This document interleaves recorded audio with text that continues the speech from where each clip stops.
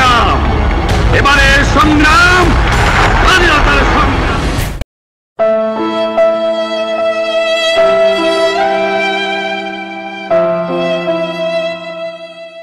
দিনাজপুরের হিলিতে চারশো পিস ইয়াবাসহ চারজনকে আটক করে হাকিমপুর থানা পুলিশ। গতকাল মঙ্গলবার দুপুরে তাদের আটক করা হয়। হাকিমপুর থানার অফিসার ইনচার্জ আব্দুর সবুর জানান, গোপন সূত্রে সংবাদ পেয়ে তার নেতৃত্বে পুলিশ পালপাড়া নামক স্থান থেকে ঘোড়াঘাট থানার দক্ষিণ দেবীপুর গ্রামের আব্দুল হাওয়ালের ছেলে মিজানুর রহমান ও আব্দুল ওহাব প্রধানের ছেলে রুবেলকে দুইশো পিস ইয়াবাসহ আটক করা হয়। আটককৃতদের স্বীকারোক্তি মোতাবেক জালালপুর থেকে আরও দুইশো পিস ইয়াবাসহ একই গ্রামের আবু বক্করের ছেলে শামীম প্রধান ও আব্দুল ওহাব প্রধানের ছেলে সুমন প্রধানকে আটক করা হয়। এছাড়াও তাদের বিরুদ্ধে ঘোড়াঘাট থানায় হত্যাসহ জ্বালাও পোড়াও এর একাধিক মামলা হয়েছে।